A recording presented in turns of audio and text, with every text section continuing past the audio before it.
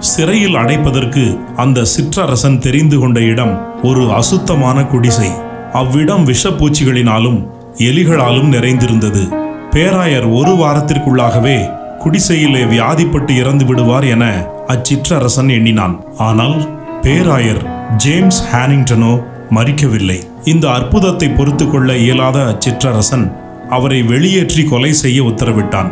ஆயிரத்தி எண்ணூற்றி எண்பத்தி ஐந்தாம் ஆண்டு அக்டோபர் இருபத்தி ஒன்பதாம் நாள் பேராயர் ஜேம்ஸ் ஹானிங்டனை பொது மேடையில் நிறுத்தி ஈட்டியால் குத்தி அவரை கொன்றனர். அவர் குத்தப்படும்போது உகாண்டாவில் கிறிஸ்தவம் பிரவேசிக்கும் வழியை என் ரத்தத்தால் விலைக்கு வாங்கிவிட்டேன். கிறிஸ்தவம் இனி எளிதில் உகாண்டா தேசத்தில் வளரும் என்று சிற்றரசன் வாங்காவிற்கு சொல்லுங்கள் என்று தனது மரண வேளையில் சொன்னார். இந்த சம்பவம் உலகம் முழுவதும் உள்ள ஆங்கிலிக்கன் திருச்சபைகளை வெகுவாய் உலுக்கிற்று.